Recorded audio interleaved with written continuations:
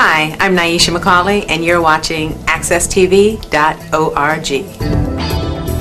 Candid Conversations with Darrell Fitzgerald is a show where you will learn something new. It's a show for the courageous that want to be engaged. A show where we discuss any issue that affects the lives of people. And a show where we take inventory of our live decisions. Welcome to Candid Conversations with Darrell Fitzgerald.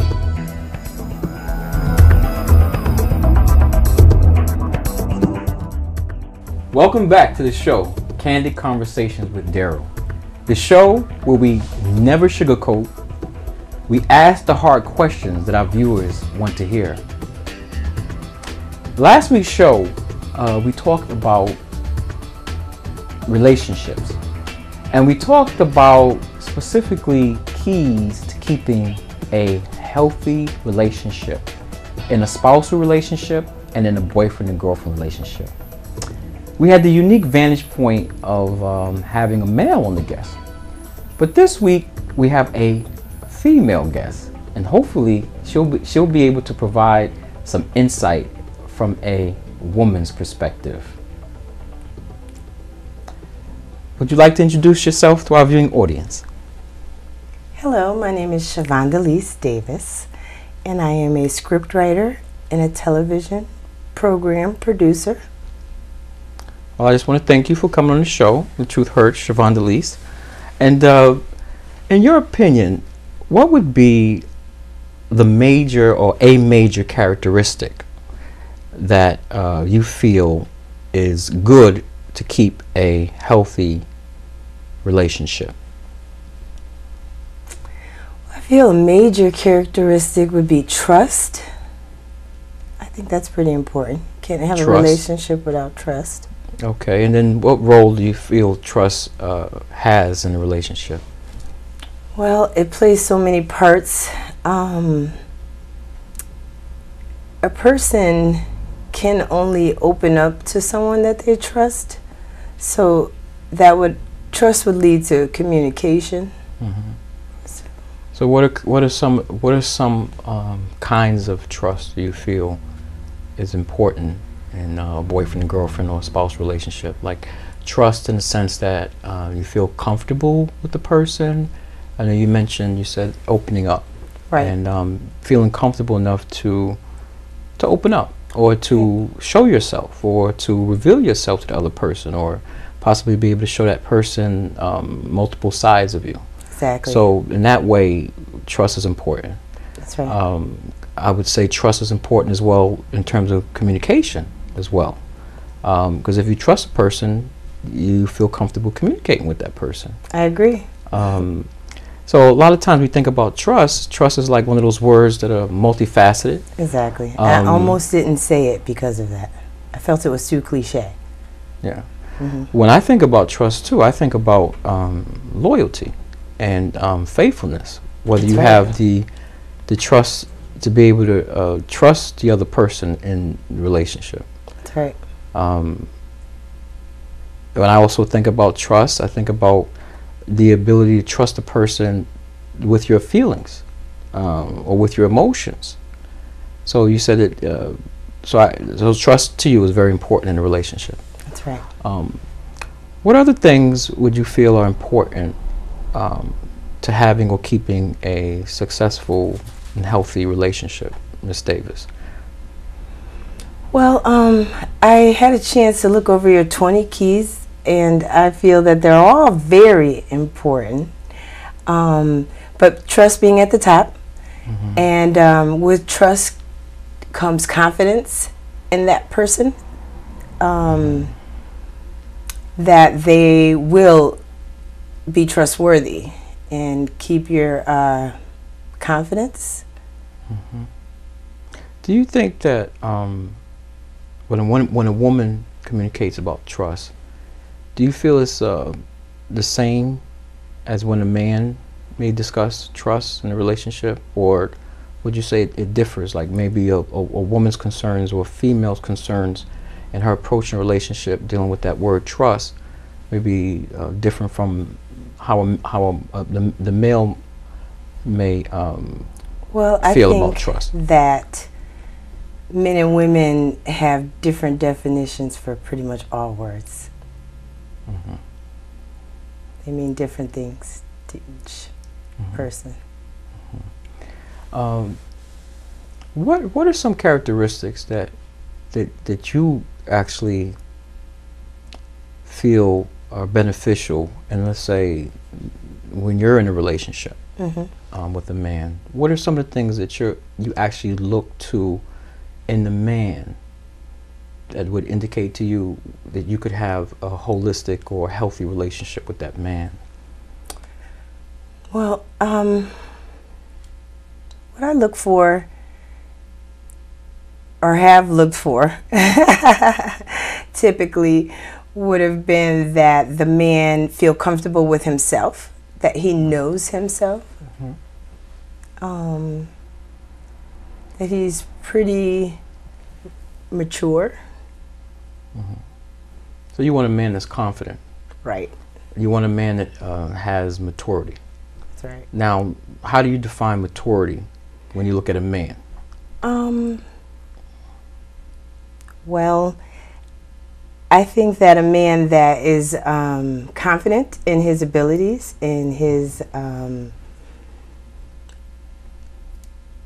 beliefs, um, needs very, he does need validation, but not as much as a man that would not be as confident in his abilities, So a mature man has confidence. right? Okay. I hear a lot of women talk about relationships with men, and they say, um, you know, I don't want to. I'm not. I'm not a mother. I don't want to be this man's mother. hmm Um, do you do you do you have any ideas, or can you elaborate a little bit what in your in your view what that might mean from a, from a woman's perspective that y- you don't want a man that looks to you as a mother? Hmm. um, I would interpret that to mean that it would be a man that I'd have to look after and um, constantly oversee. So I would probably interpret that as a man who was not a leader. I'm sorry. That's how I see it. Well, this is candid conversation. You know, you can you can communicate and say what you like to say and how you how you feel most comfortable saying what you like to say on the show. hmm Um, Thank so, you. a man who is the type of man who wants a, would, who wants a mother Right, would be the type of man that a woman would have to oversee a lot. right, Oversee in the sense of what to make sure what that his actions line up properly um, or responsibly. or responsibly. hmm What would you say is something that would be um, irresponsible or something that wouldn't be advantageous for uh, a characteristic that a man would have in a relationship? That why would you have to overlook a man? What to make sure what that he um, that he has uh, that he has uh, proper spending habits, oh spending hmm so that that's important to you hmm good financial management. that he has good finance. So not the type of person who would pretty much squanders or or wastes his money on uh, maybe things that are detrimental or frivolous. Right, and a man who doesn't prepare for future events or or um, future mishaps, where who doesn't have a reserve or it doesn't have the foresight to appreciate a reserve. Oh, that's interesting. So you would say that a, ma- a mature man is one who has good stewardship over um, his finances. Exactly. Right. So he, d- he doesn't squander his money, doesn't Right. squander his wealth. Right. He um, pretty much would take care of his business, make sure um, his necessities are, are t- cared for. hmm Um, and more specifically, um, in dealing with finances, Right. how would you like a man to deal with you personally dealing with finances? Because I mean, a lot of times you deal with relationships. You hear you hear songs and things that says, you know, no romance without finance. You know, you got to have a job if you want to be with me. That type of thing. So I, I would tend to think somewhere in the equation it would be you might have some considerations for the way the man deals with you as it relates to his money and his finances, or how he would deal with the household or your household. Mm-hmm. Right. You know, I mean, um, Well, I, I believe until a couple is married, then each person's finance is their own, and to do with as they please. But as I said, if you notice before you marry someone that they don't have good financial stewardship, then that might be a red flag of something you might want to think about before you commingle your funds with someone that is irresponsible. So. So how do you assess if a man has um, good financial or fiscal responsibility? I mean, let's say okay, you're you're dating, okay, you're you're courting a man, or let's say you've been dating for a year. How how would you be able to tell, you know, if this man um, has good fiscal responsibility? Well, Darrell, I can't tell you all of that, but I could just tell you a few details. you look want surprised. we want to know. The viewing, the viewing audience wants to know. Oh, well, um, one thing I can tell you is that a first sign when you first meet someone and, and you're going out for coffee or maybe a dinner, lunch, or something like that, you might want to observe his actions when the bill is presented. Is it left in the middle of the table? Is it slid towards you? Or does he readily grab it? That's like a first sign that would tell you whether or not he has financial responsibility. And then the second way you'd really find out is does he pay for your date and does he pay with cash or a credit card? Because that would kind of indicate if he has a stable credit rating. Right. I hear you. have a credit card. I talked to my mother, and she was saying something to me, and from a woman's perspective, saying that there's th- three things that she looks looks to. You know, does he have his own house or apartment? Right. You know, so he's you know he's not living on the streets. Obviously, he can pay for that. Uh, uh, does he have a job?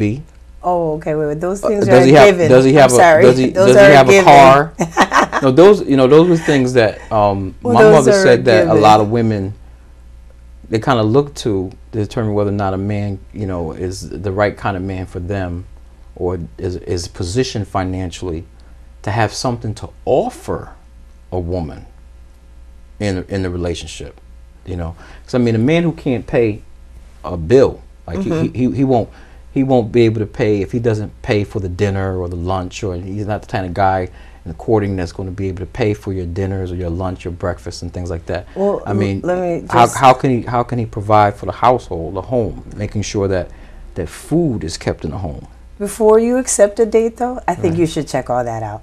I mean, you should know whether or not he has a car, he has a residence, Oh. before you even agree to a date. So I thought that was a given. I thought Okay. most most people knew that. so uh, women do their research Of course, They you wouldn't go out with a stranger, would That's you? good. Well, no, I don't.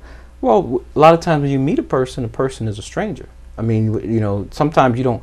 When you first interact with a person, you uh-huh. may just you may just have a conversation. It's usually an opening. Like you might be at a public event, you might be at a club, you might be at church, whatever. You know, sometimes things begin just with a conversation. You may not have all the research done before you communicate with a person. So a lot of times when you, at least when I first meet people, I don't know everything about them. They're they're almost like a a stranger, but but I get to know. Well, that's what the conversation's for. That's what we're going to be talking about while we're conversing. We're going to be finding out if we have similarities. Where do you work? Are you married? Are you single? Do you have children? So You you should find all that out even before going out with a person. You So should know where they live. right. So you you you you you, you ask all those um, hard questions. You do your uh, sort of like your your interview process. Oh, I do. Oh, you do. I'm a straightforward person. yeah, well, that's smart. That makes a lot of sense. You know, that makes a lot of sense. Um, Avoids problems in the end. avoids problem in, the end. Know, knowing as much as you, you need to know up front will avoid um, problems in the end.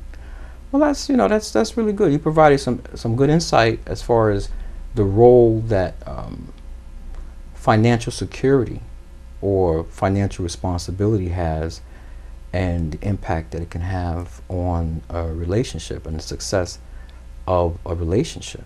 The word I'd use is responsibility. Security is not always a given, but responsibility can be controlled. Would you say that um, women look um, for men who can provide financial security? As I said, security is not always given. You know, that is um, subject to change through factors that we can't control. But responsibility is something we can always control because if you're faithful over a small amount, Right. then I, pretty, I'm pretty sure I could trust you with a lot. Well, Siobhan Shavandalice, you've provided some really good uh, insights so far. We're going to uh, take a quick break right now, uh, and I look forward to seeing you soon. At Hartford Public Schools, we care about one thing above all the future of our kids. That's why we're dedicated to providing all students with the knowledge and skills needed in the new global culture. Hartford Public Schools is thriving. More student success stories, more world class facilities, more university and corporate partnerships, more amazing talent coming and staying in Hartford. This is how education is supposed to work. Welcome to Hartford Public Schools, where the future is present. Uh, welcome back to Candid Conversations with Darrell. And we were having a really interesting conversation about the keys to keeping a healthy relationship, uh, primarily a boyfriend girlfriend relationship or a spouse relationship. And uh, we want to just continue our conversation with our guest, uh, Miss Davis. Miss Davis has been sharing some really wonderful things with us about um, relationship from a, a woman's perspective. Uh, Ms. Davis, uh, how, how do you feel about, um, uh, do you feel it's very important between uh, a man and a woman to have commonality in a relationship? I feel that they need to have some commonalities, common goals, common beliefs. Common goals, common beliefs? Mm-hmm. Do you feel as if uh, men and women should take interest in one another's um, interests To a degree, to a degree? yes. And uh, what role do you feel uh, freedom has in a, in a relationship and the success of a relationship? Uh, personal freedom. Do you feel that personal freedom has an important role in, in keeping or maintaining a healthy relationship? Yes. Yeah. I, I see a lot of situations uh, often when I look at relationships where sometimes men um, they can't accept uh, women's independence Mm-hmm. and women's freedom, or they can't um, respect uh, the fact that a, a woman can chart her own course for herself in her personal life. So you know she may she may have certain aspirations or goals, uh, whether it be academic or, or career. And I, I often hear a lot of times that you know it's why it's so important to have I think people who are together who have common interests or uh, common mentality.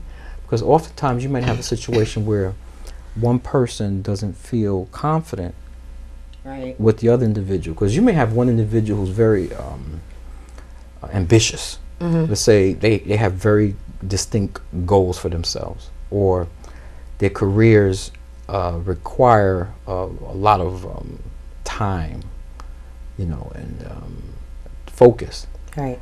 and um, you may have another individual who cannot adjust to the fact that um, one individual is very focused on their goals and their career. I mean, have you ever seen uh, relationships where that's come into play where maybe, you know, one person is going in one direction, meaning they want to move upward and onward, and the other individual just wants to stay where they are, and that that may become a conflict in the relationship. Have you ever have you seen that before, Ms. Mhm. Davis? Yes, I have, unfortunately. Have you ever experienced that personally in a relationship? Well, to a degree. You know, first, I just guess I could say that no one likes change. change is always hard until you change. And um, secondly, as a um, television production, uh, uh, as a TV producer and a scriptwriter, I um, meet a lot of people and I am often out and about and um, without my companion. And uh, a lot of times I do feel left out. And before that, I had a pretty demanding sales career as a real estate agent, and I socialized a lot with my clients and mm-hmm. prospective clients, and the mm-hmm. same while looking for cast and crew members for my television pilot. I meet a lot of people, sometimes attractive people too. So I could imagine what type of insecurities a person would feel. But um, I know that if you feel confident in yourself, in your own abilities, mm-hmm. and who you are, you know, it could still sting a little to see your mate with someone that you find is a little more, who looks more suitable to their taste. But um, you just have to be confident in yourself because there's a reason why you're together. It's interesting. You said that you felt left out, that your your career or your career goals made you feel like the person who was left out. No, I said Oh. my mate might have felt left out. But then Oh, again, okay, I excuse did as well. You brought up a good point there. I did as well because a lot of times I was working or out of town or traveling when I could have spent time with my family, friends, mate on special occasions. I missed because I was out of town or working. So interesting. You brought up a key that I never even considered in my 20 keys to keeping a healthy relationship is um, the effect, uh, the role that change has, Mm-hmm.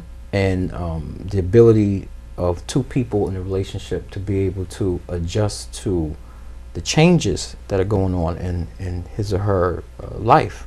Yes. And be supportive of the changes as well. That I forgot to mention is an important key.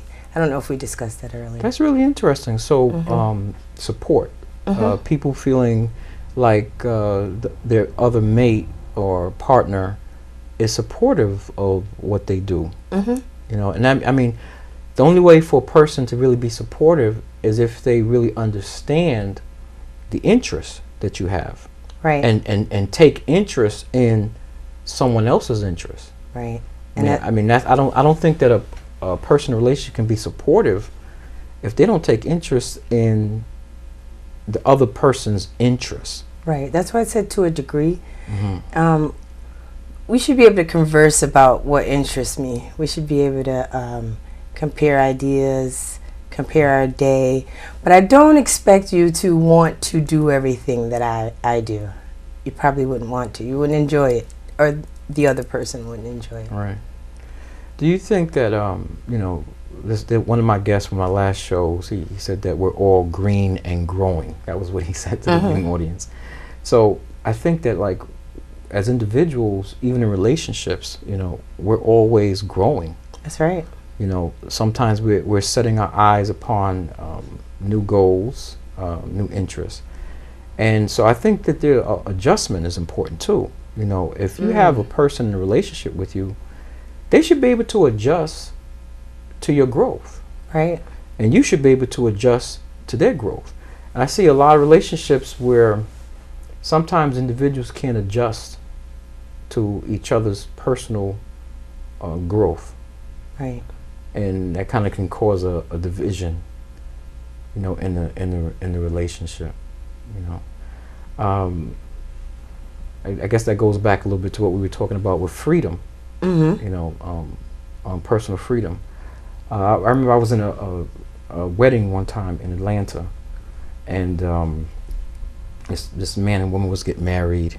You know, it was actually on Peachtree Street in uh, Atlanta, Georgia and um, the uh, pastor kept saying to, and he was really adjust, he was really addressing it to the the um, husband, the soon-to-be husband, to to the groom, because this woman had really high expectations. Like she was on a route to get her like like doctorate degree. She was like already she just received her master's degree, and she was going for her doctorate degree. Okay. And you know she was very very focused. She had a very supportive family, very supportive family base, and um, she just really knew what she wanted. She knew what she wanted out of life, and so the pastor kept looking at the groom and his side of the family, and kept saying that you you know you know she she she has goals for herself. She really wants to accomplish these things, and you know trying to let him know you know you really need to be supportive of her as she as she embarks and as she maintains her course of action,